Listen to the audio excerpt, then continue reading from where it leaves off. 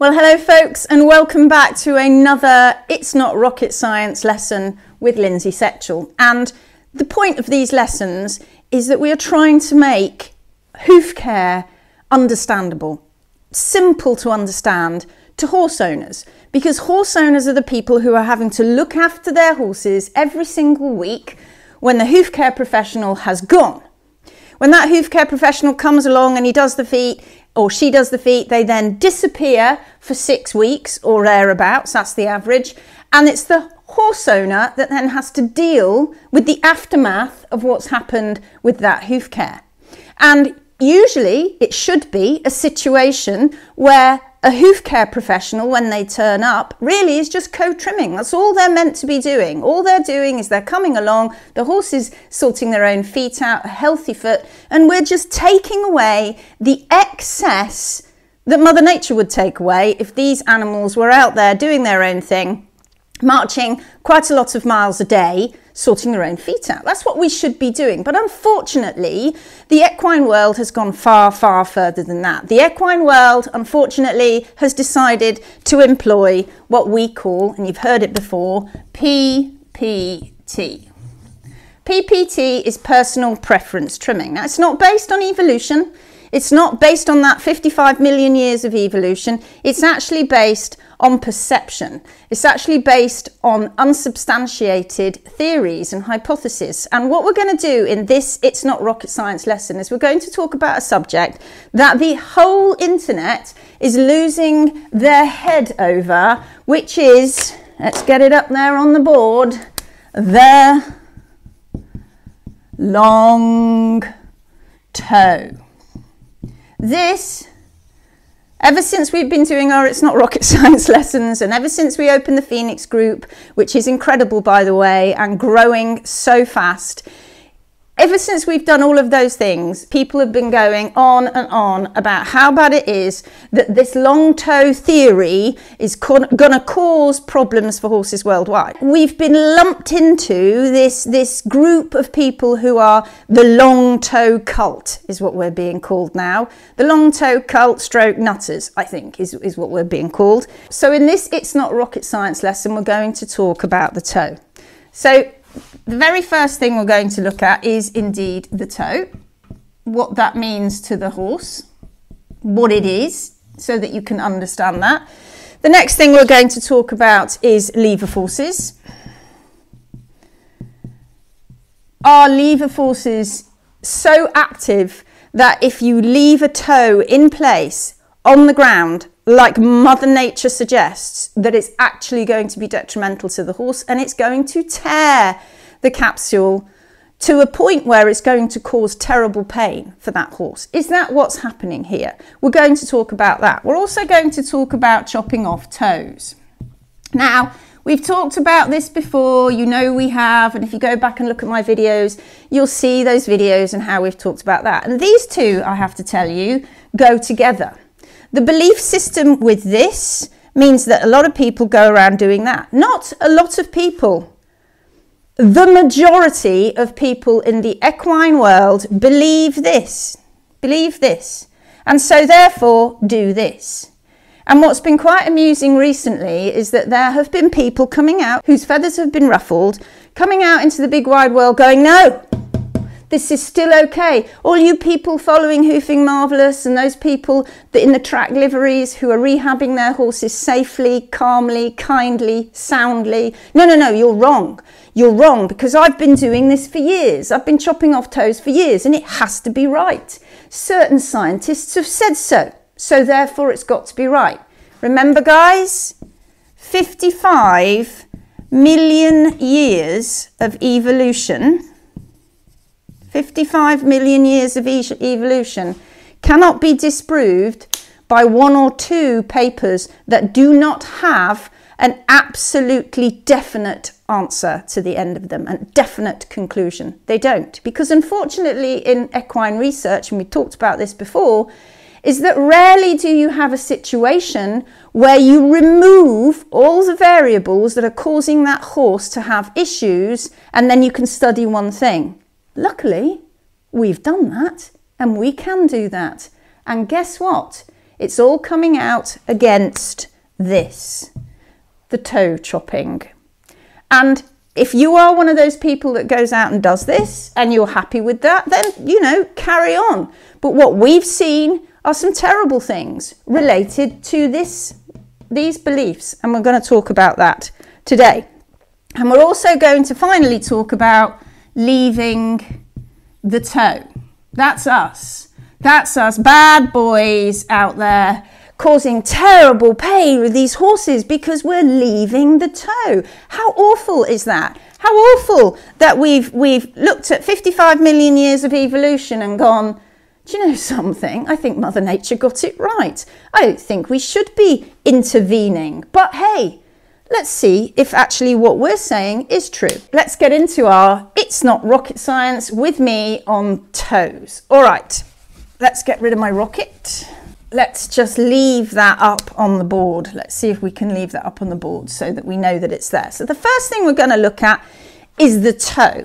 So let's understand this first because remember this is for horse owners. We want horse owners to understand what's going on with the foot. Now rarely do you get a situation when um, a vet for instance will come and look at your horse and they look from the top they look down at the horse's foot. They're looking down here. They're looking this way. They're, they're, there's your eyes, and you're looking down on the outside of the foot. And these professionals, sadly, haven't spent a lot of time, the majority of them, on understanding the natural foot. And in this day and age, out in the big wide world of the domestic horse, we don't see that that often, to be fair, because what we see are pathological feet, usually. Pathological feet that have either been caused to be problematic or pathological feet because of diet and management. And that's the majority of things that we see that have been in shoes, etc. And they have issues. You can't view that as a natural foot. But when we look at the foot from above, you can't make a ton of assumptions. People do, but you shouldn't make a ton of assumptions. What you should do is you should pick the foot up and you should look at it from below because only then can you tell if the foot is balanced. You can, uh, from heel to heel and from heel to toe, which is incredibly important.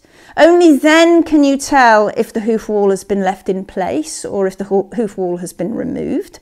Only then can you truly tell whether the toe and the wall and the heels and the bars are well above the natural constant of the hard sole plane or not. That's the only way that you can tell is by taking the foot and turning upside down. So you can't do that. Anybody that comes along and looks at your foot from above, pick the foot up. So I apologise again for my appalling drawings.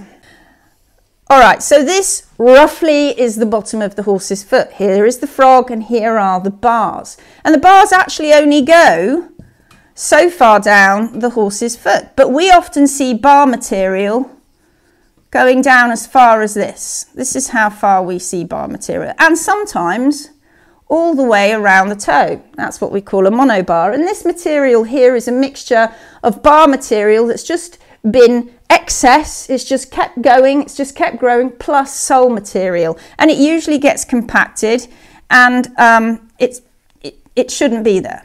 It wouldn't be there if the horse was doing its natural thing. It wouldn't. And, and bars is, is a whole other, it's not rocket science lesson. Anyway, okay.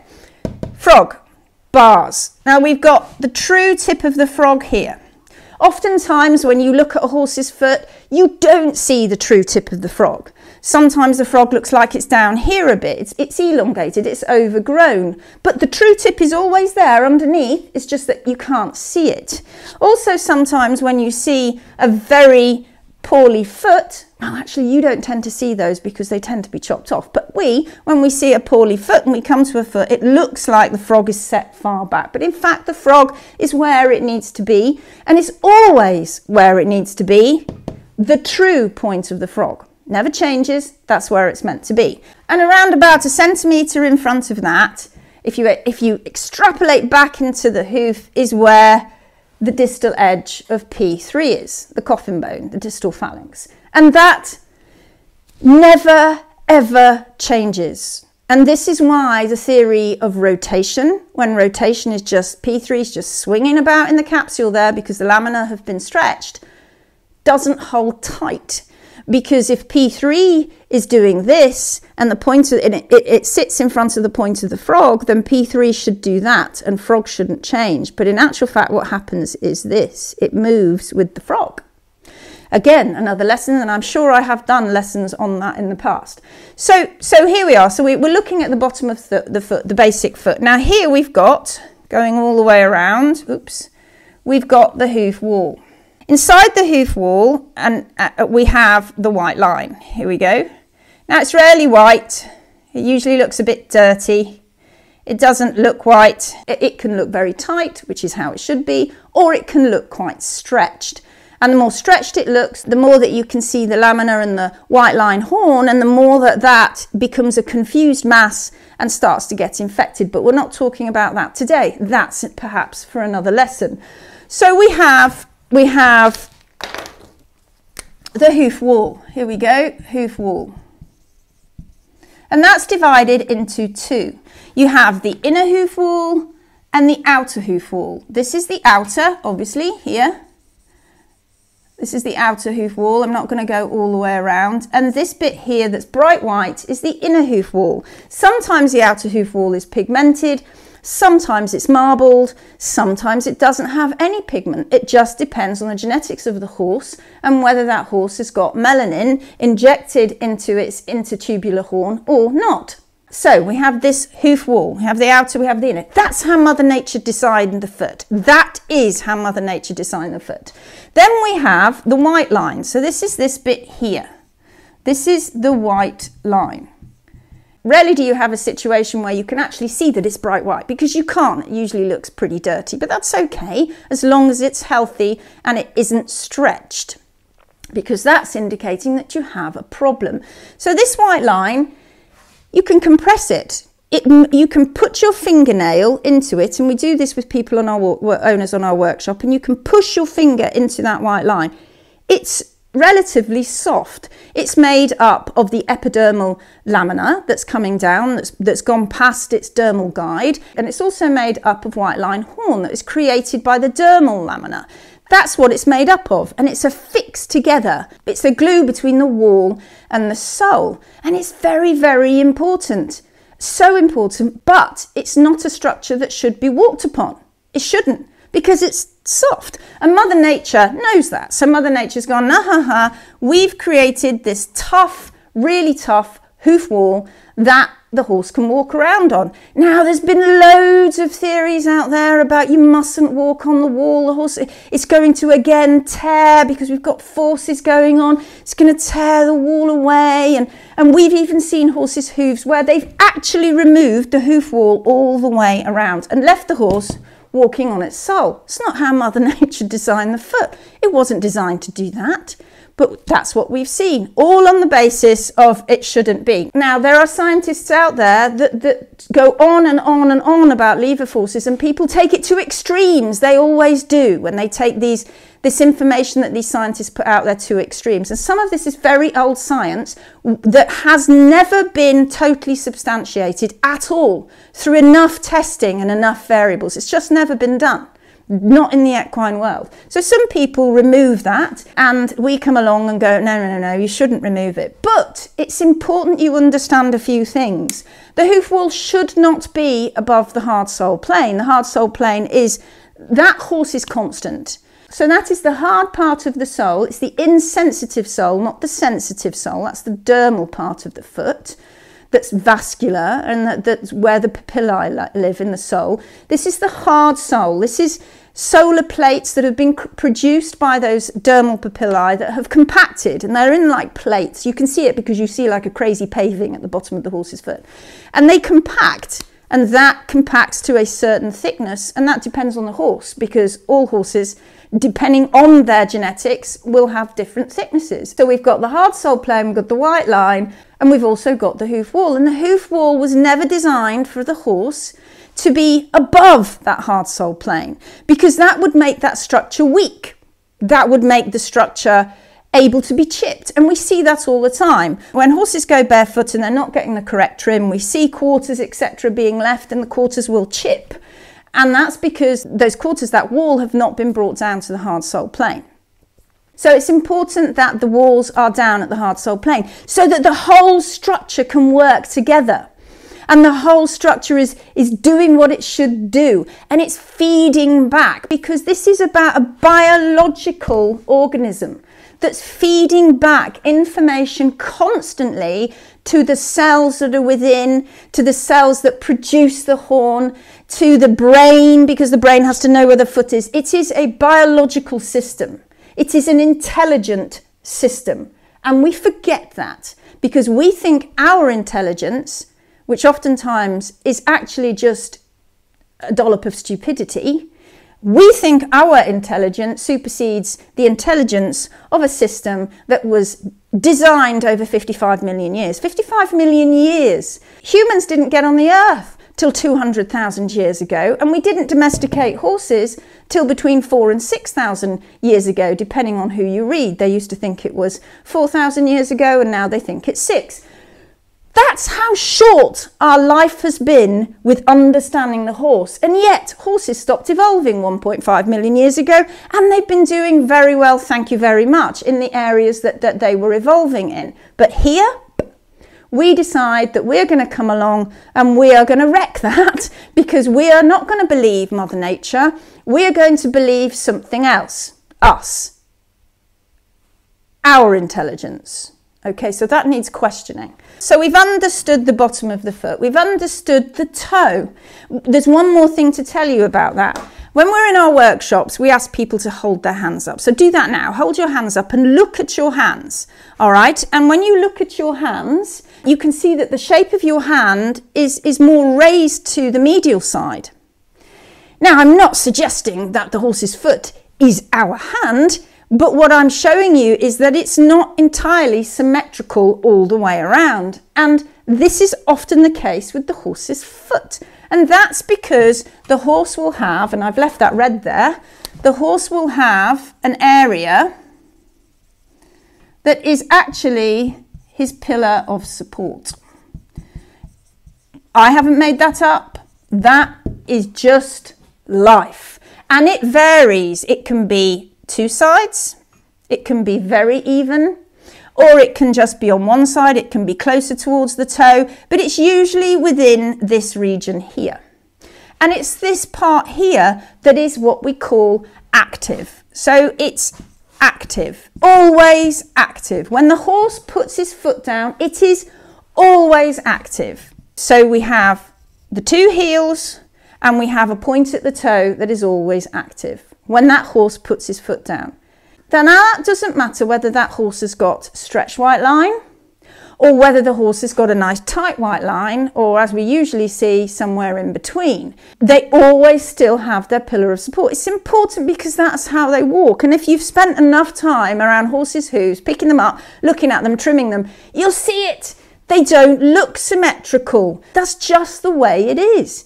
It's their natural footprint. But unfortunately, with traditional hoof care, we don't we, do, we ignore this. We ignore these pillars of support, and what we do is we just blindly go in there and we we start doing things to the horse's foot without thinking about these pillars of support. So they are very important, and they're very important to our next section, which is lever forces. So we've done the toe.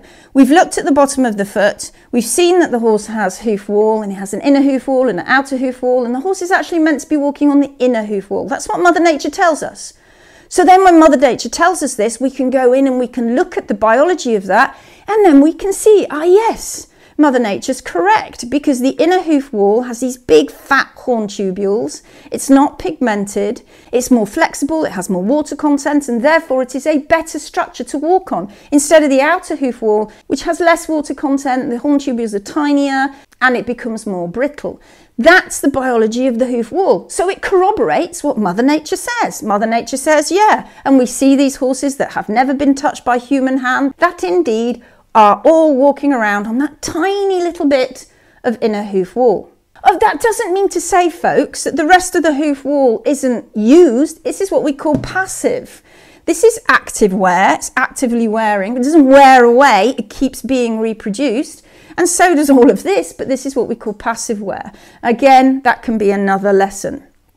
But it doesn't mean to say it doesn't get worn. Of course it does when the horse goes over lots of undulating terrain. All right, so we've done the toe. Let's get into lever forces and chopping toes because this is the big thing, right? This is the crux. This is all over the internet right now. Like I said, we're the long toe nutters that are out there leaving toes. How could we do that? How awful. It must be straining tendons. It must be spraining ligaments. It must be causing the DDFT to go haywire and the horse must be in agony. This is terrible. How could we be doing it? Well, let's talk about it.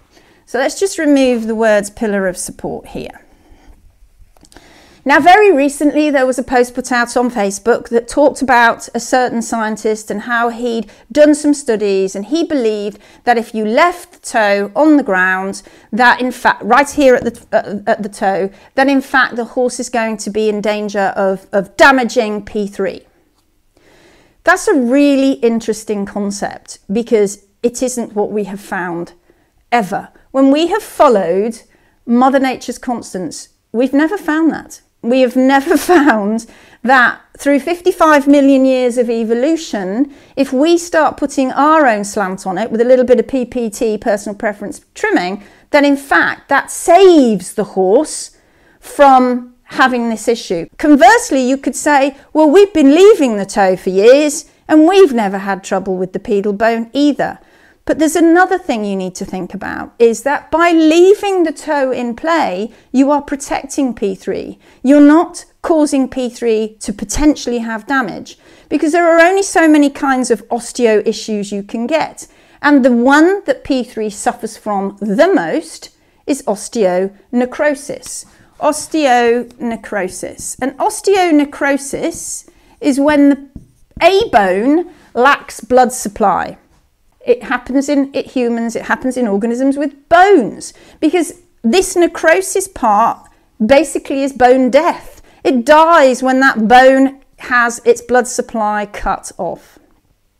And that's bad.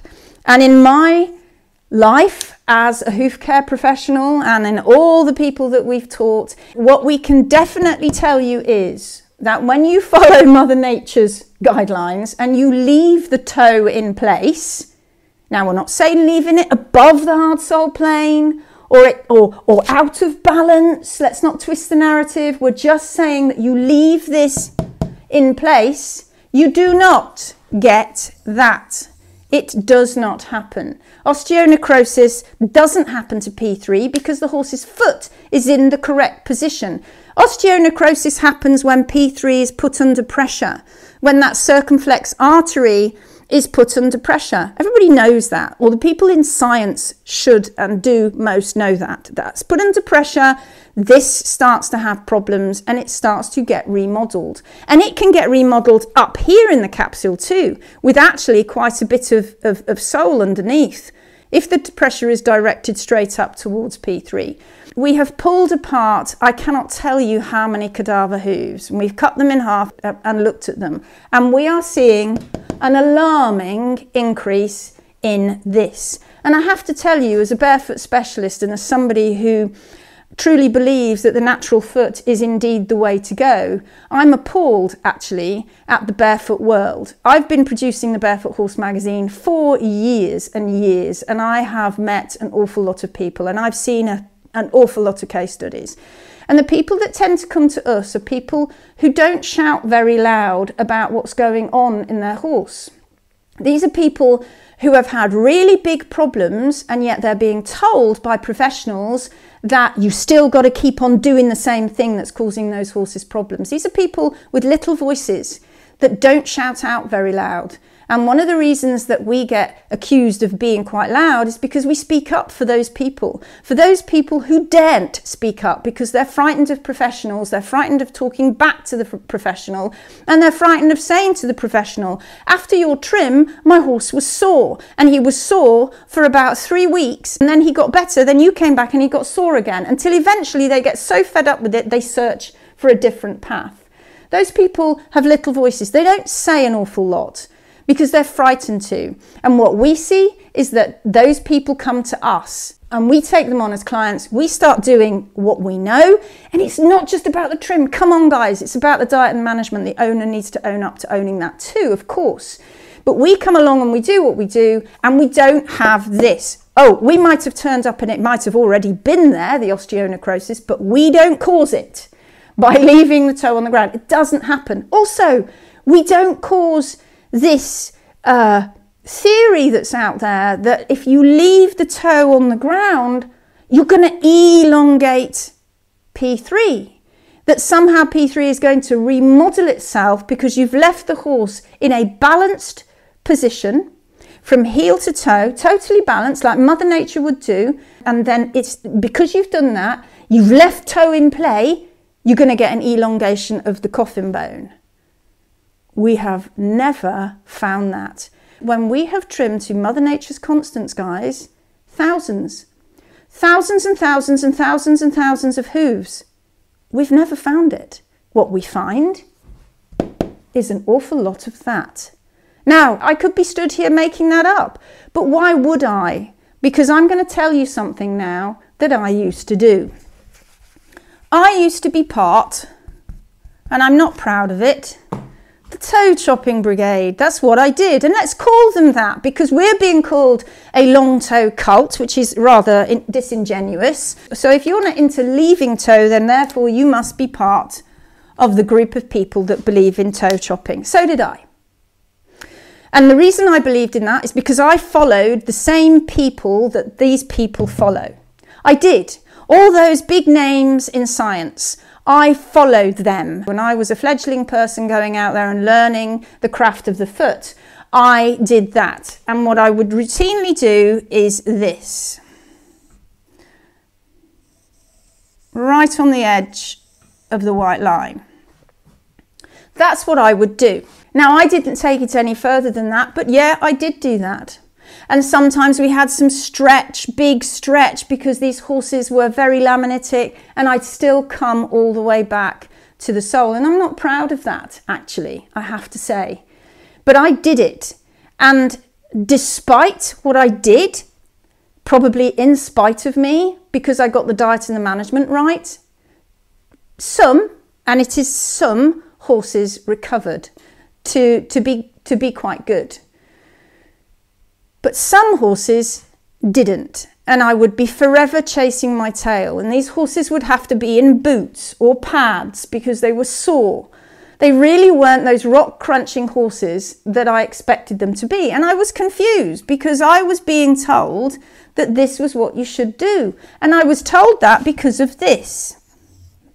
Because if I don't, this is going to continue tearing because it's going to put force on that toe and it's going to tear those lamina apart and that you are then going to be in deep trouble and you're just going to perpetuate this mechanical laminitis or these mechanical issues for the horse. And if you don't take this toe back, you're going to strain those tendons and sprain those ligaments. You're really going to put the horse into deep problems. So I did it. I wasn't happy with it. I didn't feel comfortable with it. And thankfully, I didn't do it for very long. I completely had disregarded 55 million years of evolution and Mother Nature's constants. I thought I knew better because I was being told that that was the right thing to do.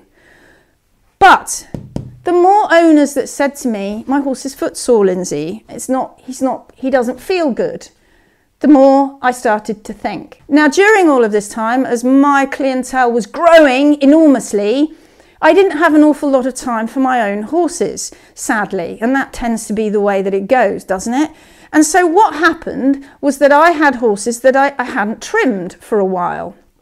And some of these horses were quite laminitic when they came to me. I changed the diet, I changed the management. I'd originally done trims like this, and, and away they go. They never that rock crunching sound, but it was okay. I was being told that this was the right thing to do, so I should do it. So I, I let, and I had track systems up. I was one of the first people in the UK to put up extensive track systems and teach about track systems. And so I did this. And then one day I came back to trim my horses and I wasn't happy about this. I'd had a client on the phone telling me that after I'd done this trim, a horse was sore and I didn't like it and I was upset with myself because I felt that I'd caused that horse harm.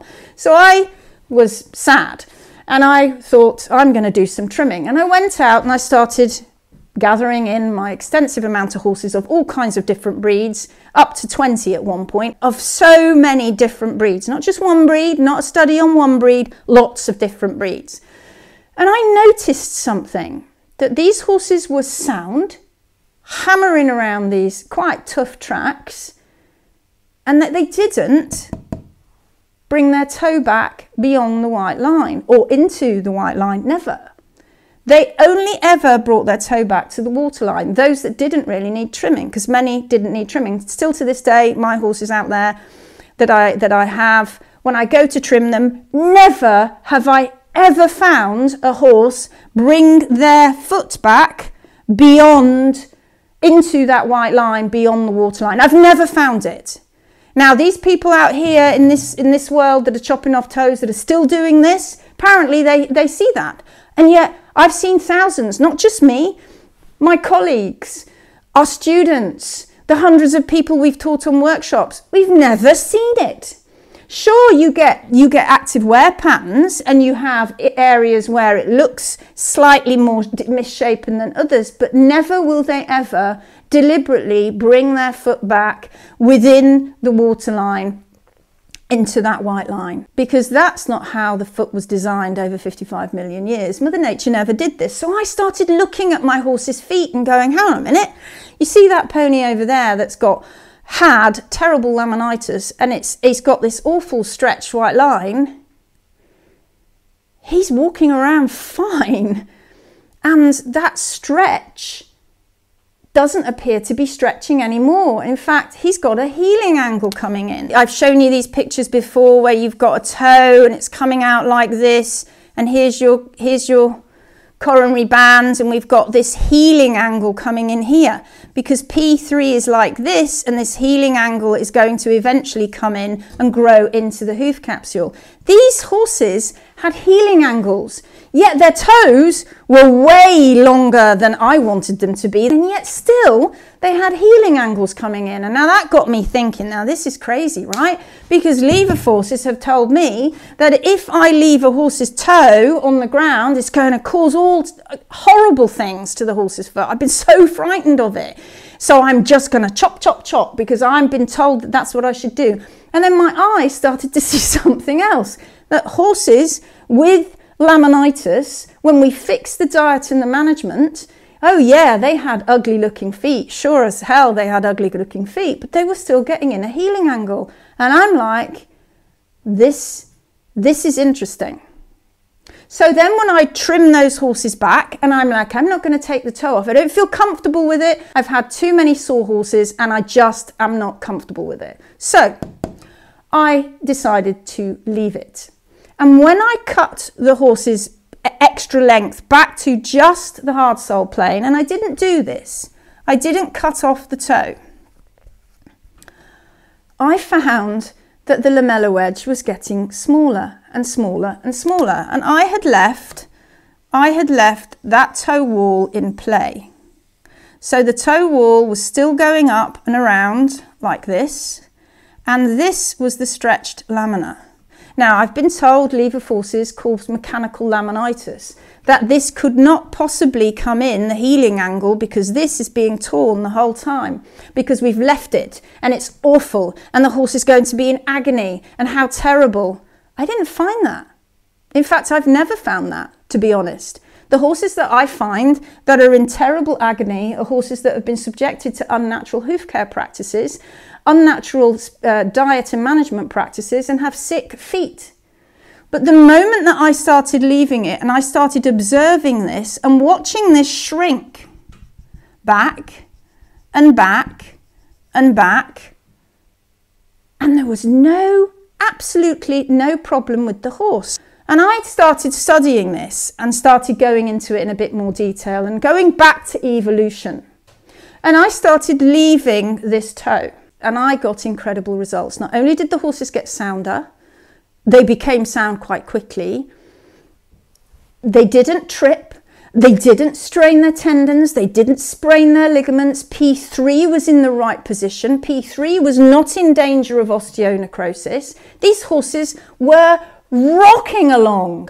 Absolutely incredible. And you know something, guys? In this world of, of hoof care, we, we cannot seem to allow a horse to have this long toe because we have been so ingrained that this is a problem. We've looked at physics and gone, it can't possibly be right. This must be tearing. Yet it doesn't. And why doesn't it tear anymore? Because we are looking at the physics of biology, because intercellular and intracellular bonds are far, far greater than anything that can happen here at the toe. And it's true. But do you know something? People never never, never try that. They don't because they have muscle memory, and that muscle memory is we need to keep removing. And it gets worse than that because not only are they removing it with horses that have wedges, and you can't see the wedge then, therefore, you don't know how well that horse is recovering. And what we see in horses that we come along when they've had that removed is we just see the perpetuation of laminitis and the stretch and then we just see P3 getting more and more rotated with this capsule that gets more and more distorted, pressure continues, and P3 starts to get osteonecrosis. We see that and we see it all the time. It's not just HM, guys, there are plenty of people in the world that have understood this. That are not going against 55 million years of evolution. Of course, it's pathological. Of course, it shouldn't be there. But we've got to respect what the biology of the foot is doing because the second that you start removing all of this, you start affecting the whole equilibrium of that horse's foot. Sure, it's ugly, it doesn't look right, but this does not happen. They don't get worse, they get better. But everybody that's in this camp here who still believes that, which is actually the vast majority of the equine world, laminitis has not been stopped, has it, guys? It hasn't. It hasn't been stopped. It's, in, it's getting worse. Pathology in the equine world is getting worse. And yet we still have these theories, we still have this hypothesis, and we're still doing it. And we still go around going, yeah, yeah, yeah, it's true. We've even seen horses with beautiful, beautiful feet. Beautiful feet that, that Mother Nature has created, healthy, and they've had their toe chopped off right to the white line. And the people that are doing it are saying, yeah, yeah, that's, that's how it, how could you say that? How could you say that what you're doing from one or two men that have done some research that is not substantiated across the board, that you think that that's the right thing to do? It's wrong, guys, and it is malfeasance. And what's happened in the big equine world is the people with the little voices are starting to get a bigger voice and they're starting to come out and they're starting to vote with their horse's feet and they're starting to say, I don't want you chopping my horse's toes back. And now, finally, now we have commercial track liveries in the UK who have gone, let's do this because we're getting so many horses with a lot of pain. Let's watch what happens when these horses turn up with horrible laminitis and we change the diet and the man- management and they start to get a healing angle coming in. Wow, they do. And guess what? We've not chopped the toe off. And guess what? Those horses are hammering along getting better and better and better. And we've protected P3. No longer are we going to be in a situation where we're causing P3 to have problems because the horse is not walking around on its sole, which is what happens when you chop the toe off. And not only that, the whole balance goes out of whack because you can't balance properly to the toe wall anymore, and so the balance goes out of whack. This gets thinner and thinner. It's a mess. It's a mess.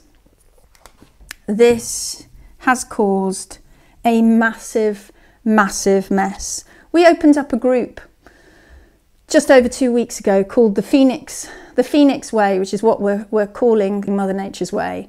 It, we called it the Phoenix Way. It's not our method, it's studying the natural foot. It's all about the natural foot. It's about understanding the natural foot, not what we think the foot should look like, the natural foot.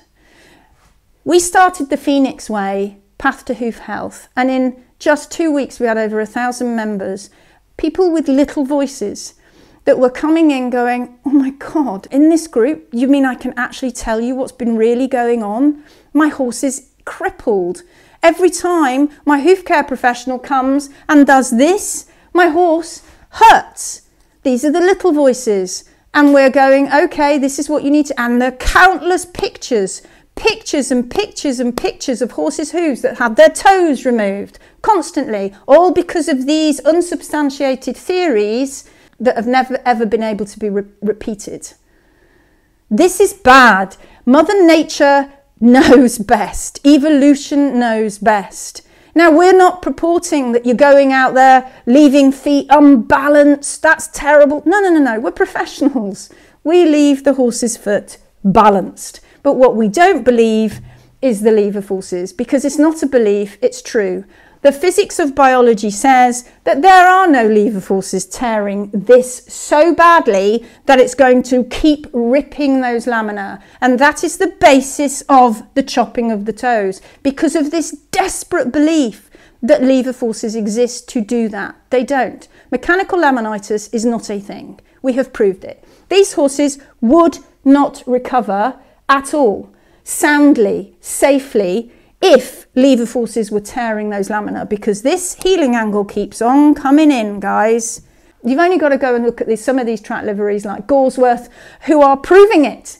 It's never been done, you see, because the world believes this. Nobody, nobody other than us has ever gone, leave it, see what happens. Oh my goodness, the horse is safe, the horse is sound, P3 is safe. Nobody's done it.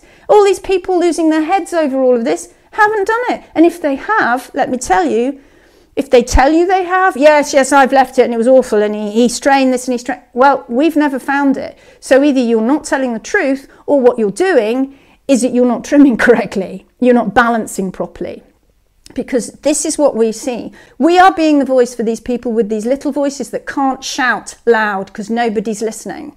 We are there for them. In this last three weeks alone, we have placed more of our students and professionals with owners who have come to us going, please help. My horse is in a desperate state. And I've been doing this, this, this, and this, and it's not been working. We go, show us the pictures. They show us the pictures, and it's always the same story the toes have come back. The heels sometimes are high. It's a mess. It's a mess. And the horses are sore. It's a mess, guys. Hoof care in the equine world is a mess. Now, you can keep losing your heads over it, calling us names and doing whatever it is that you want to do to try and shout us down. But I know, I know because I've been in this barefoot world an awful long time now.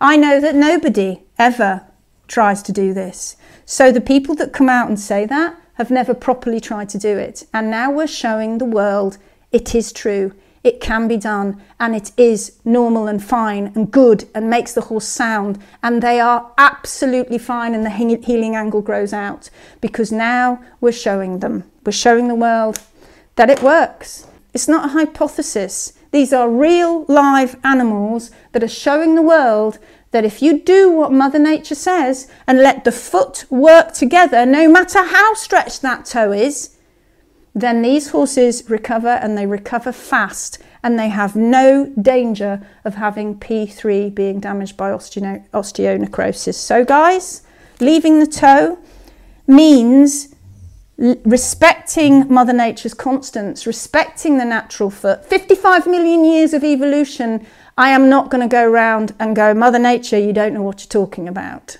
I think I need to do this. 55 million years of evolution tells you that she got it right. She didn't get it wrong. Horses are not a design flaw. Horses are not something that need to be need a human to come along and go that's all wrong. No, no, no, no. What they need is a human to understand the diet, the management, uh, we can keep it more species specific and they need to understand the foot more. They've never done it, you see. The world's never done it. And now we are. And now we're proving it. I hope that helped. I hope my It's Not Rocket Science lesson on the toe and the long toe and the chopping the toe helped. If you want to know any more information, you want to see some of those stories, join our group, the Phoenix Group, the Phoenix Group Path to Hoof Health, because what we do is follow the natural hoof. So join us, come in, have a look. We've got loads of professionals joining too, because they aren't happy either. The people with the small voices, they're getting the bigger voices. So look out, world. It's coming. Change is coming. I'll see you next time. Bye bye.